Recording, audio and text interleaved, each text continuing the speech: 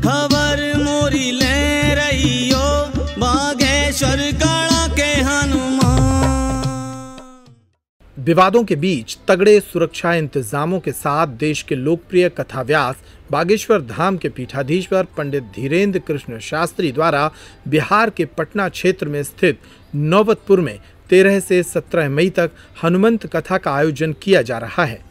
बागेश्वर बाबा की यह कथा देश भर में चर्चा का विषय बनी हुई है, क्योंकि उनकी कथा के पहले बिहार के वन मंत्री तेज प्रताप ने उन्हें चुनौती दी थी। इसी चुनौती के बाद यह कथा सुर्खियों में आ गई। अब कथा को लेकर बिहार का जनमानस बटा हुआ है। बहरहाल, तमाम चुनौतियों के बावजूद तेरह मई की सुबह बागेश्वर महाराज बिहार की धरती पर लैंड हो गए। विवादों और चर्चाओं के कारण इस कथा को लेकर प्रशासन के हाथ पाँव फूले हुए हैं। बिहार सरकार ने भी इस मामले को गंभीरता से लेते हुए बागेश्वर धाम के पीठाधीश्वर की सुरक्षा बढ़ा दी है। बिहार में आयोजन को लेकर चप्पे चप्पे पर सुरक्षा के तगड़े इंतज़ाम किए गए हैं। कथा स्थल पर आठ ड्रॉप आउट गेट बनाए गए हैं। अंठानवे दंडाधिकारियों के साथ साथ सौ से ज़्यादा पुलिस के अफसर नौबतपुर में तैनात कर दिए गए हैं। बिहार सरकार ने यहाँ पुलिस की तीन कंपनियों को तैनात किया है। लगभग तीन हज़ार से ज़्यादा पुलिसकर्मी इस कथा की सुरक्षा में लगाए गए हैं। इतना ही नहीं, पुलिस मुख्यालय ने विशेष तौर पर अलर्ट जारी किया है। एडीजी पुलिस जितेंद्र सिंह गंगवार ने पुलिस और प्रशासन को तमाम सुरक्षा इंतजामों को पुख्ता रखने के निर्देश भी दिए हैं। ज़ाहिर है, इस कथा में पटना ही नहीं, बिहार के कई जिलों और पड़ोसी राज्यों के लाखों श्रद्धालु पहुँच रहे हैं। उनकी सुरक्षा के लिए यहाँ व्यापक बंदोबस्त किए गए हैं तो वहीं वाहनों की पार्किंग के लिए भी लगभग 300 एकड़ क्षेत्र में इंतज़ाम किया गया है। कथा स्थल के तीन तरफ़ तीन हज़ार सेवादारों की तैनाती की गई है।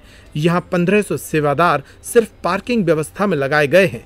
उम्मीद है कि यहाँ प्रतिदिन दो से तीन लाख लोग कथा सुनने पहुँच सकते हैं। आयोजन समिति की ओर से बताया गया है कि यहाँ पर आने वाले हर श्रद्धालु की सुविधा और सुरक्षा का पूरा इंतज़ाम किया गया है। सुरक्षा व्यवस्था को लेकर के तीन कंपनी फोर्स बिहार सरकार के माध्यम से आ गया है और हमारे कम से कम तीन हज़ार से ऊपर वॉलेंटियर हैं। जो काम करेंगे। चूँकि लाखों की संख्या में भक्तगण आएँगे, और तो भक्तगण आएँगे तो उनके लिए वाहन पार्किंग की व्यवस्था तीन तरफ़ की गई है।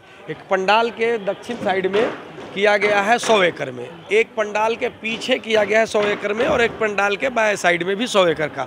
हम लोग तीन सौ एकड़ में करीब करीब पार्किंग की व्यवस्था किए हैं। कि किसी को कोई कष्ट न हो। और उसके बावजूद बहुत सारे लोग ट्रेन से आते हैं, बस से आते हैं तो हमारा एम्स गोलंबर है, वहाँ तक निःशुल्क बस की सेवा की भी व्यवस्था हम लोगों ने किया है, जैसे बुज़ुर्ग लोग हैं, जो चलने फिरने में दिव्यांग लोग हैं तो उन लोगों के लिए भी व्यवस्था हमने आपको एम्स तक फ्री ऑफ़ कॉस्ट व्यवस्था किया है।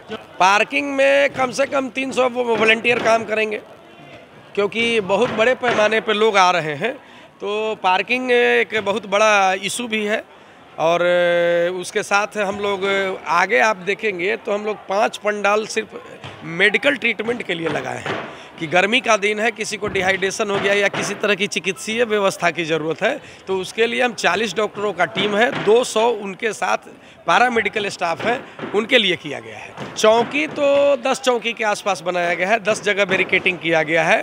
और सुरक्षा के दृष्टिकोण से पुलिस और पब्लिक हमारा जो एरिया के जो लोग हैं लोकल लोग एक दूसरे को सहयोग करके आगे बढ़ रहे हैं। विरोध कर रहे थे। उसको लेकर आप क्या कहेंगे? वो सब उन लोगों को हम लोग नोटिस नहीं लेते हैं।